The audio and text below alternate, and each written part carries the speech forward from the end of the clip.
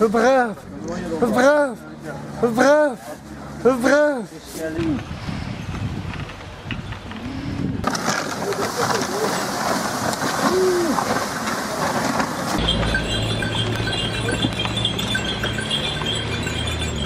Araçlarımız çıkmadığı bölgelerde kızakla gönderiyoruz.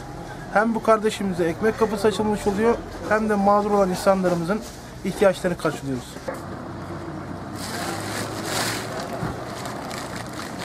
Hava takılacak